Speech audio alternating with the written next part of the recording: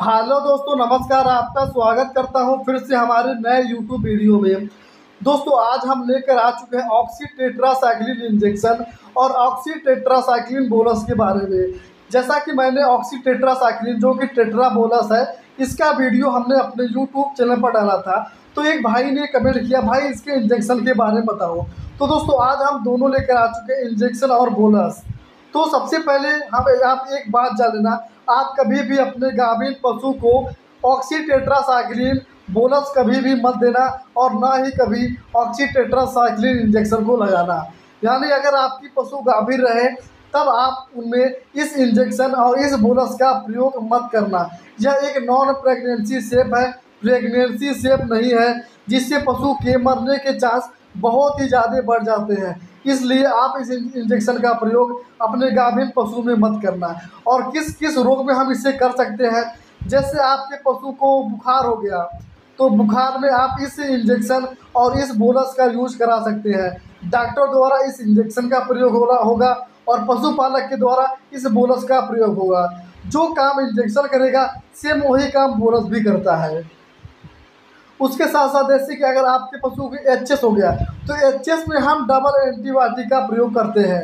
यानी सबसे पहले हम एम सेप एक्स सेप इंटा सेप के साथ साथ अपने पशु में यह ऑक्सीटेट्रासाइक्लिन इंजेक्शन का भी प्रयोग करते हैं डबल एंटीबायोटिक का काम। साथ साथ निमोनिया में भी हम डबल एंटीबायोटिक का काम करते हैं। मेस्टाइटिस में हम डबल एंटीबायोटिक का काम कर सकते हैं। उस डबल एंटीबायोटिक में एक एंटीबायोटिक हाई एंटीबायोटिक और दूसरा लो एंटीबायोटिक जो कि ऑक्सीटेट्रासाइक्लिन नाम से आता है, उसे हम यूज़ करा सकते हैं, चाहे मेस्टाइटिस हो, चाहे गला घोटी हो, चाहे निमोनिया हो, चाहे एच हो, किसी भी समस्या की, जहाँ आपको लगा है, लगे कि आपके पशु को एंटीबायोटिक की ज़रूरत है, वहाँ पे आप इस एंटीबायोटिक का यूज़ कर सकते हैं।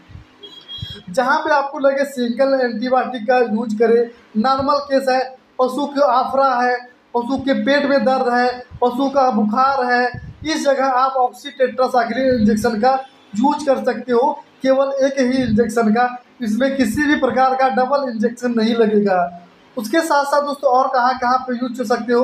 दोस्तों, जहाँ पर भी आप कोई सा भी काम कर रहे हो एनी ट्रीटमेंट कर रहे हो, वहाँ पे आप एंटीबायोटिक के रूप में इस ऑक्सीटेट्रासाइक्लिन बोलस और इंजेक्शन का यूज़ कर सकते हो। यह एक नॉन प्रेगनेंसी सेप है, गाभिन पशुओं में यूज़ नहीं करना है। तो दोस्तों, आपको हमारा ये वीडियो कैसा लगा? प्लीज़ कमेंट सेक्शन में ज़रूर बताना।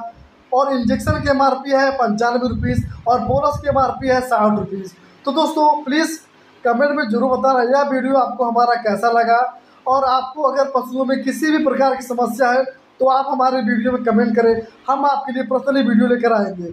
तो दोस्तों, आज के लिए इतना ही। धन्यवाद हमारे प्यारे यूट्यूब फैमिली मेंबर